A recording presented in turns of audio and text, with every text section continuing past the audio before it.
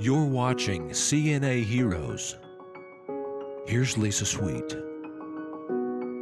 Hi, I'm Lisa Sweet, co-founder of the National Association of Healthcare Assistants. Welcome back to CNA Heroes, where we recognize outstanding CNAs across the spectrum of healthcare.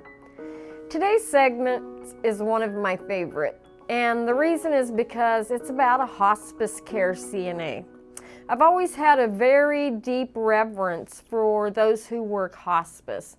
Some of the greatest people I know have devoted their lives to working in hospice. My Aunt Jeanette, a CNA, retired from hospice after decades of service. And NAHCA's own Celeste Wooten from the Board of Directors has dedicated her career to hospice as well.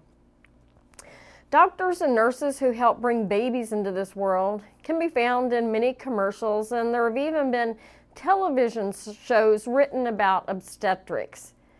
And it's a great responsibility to help women safely de deliver their babies. However, CNAs who help those on their journey from this life to the next, CNAs who support others during their transition, CNAs who provide comfort to those leaving this world should be celebrated and held in as high regard as those who assist new lives coming into this world. A big thank you to the McDowell News out of Marion, North Carolina for initially publishing this story. Katlyn Gortney works as a CNA for Care Partners Hospice McDowell. One of her patients, Carolyn Marie Parker, or Miss Marie, went through chemotherapy and radiation treatments for metastatic lung cancer. She had finished her treatments in March of this year and chose to stop curative care in order to have a better quality of life.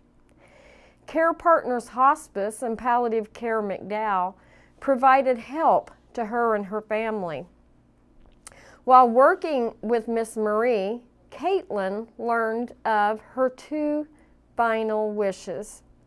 The first was to see her granddaughter Kelly get married. The second wish was to see her granddaughter's new house that was nearing completion. Katlyn very much wanted to fulfill her patient's wishes, so she teamed up with Tanya Harris, an RN on the team. They worked together to make sure that Miss Marie could attend her granddaughter's wedding, which was held in Gastonia. They helped her get dressed and ready, and she was driven to the wedding by her family. Later, they helped out so Miss Marie could actually visit the new house for her granddaughter Kelly and her husband Alex. Kelly is so appreciative of how Care Partners Hospice McDowell made the effort to fulfill her grandmother's last wishes. Of her grandmother's care and wishes come true, Kelly stated, the whole family is grateful. I am very grateful for the way things went.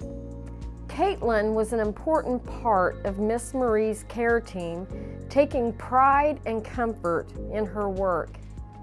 Of caring for Miss Marie, Katlyn said, It was a blessing to me. I'm very thankful for the opportunity to take care of her. Not everybody has the same goals that Miss Marie did. I am very blessed to be part of the family now. Carolyn Marie Parker passed away on May 17th at the age of 84. Katlyn Thank you for your dedication and service to your hospice patients. It is obvious that you help others live their best life possible until their final breath. That is such a great responsibility that you have taken on, and you do so with love and kindness. Congratulations, Katlyn Gortney. You are a CNA hero.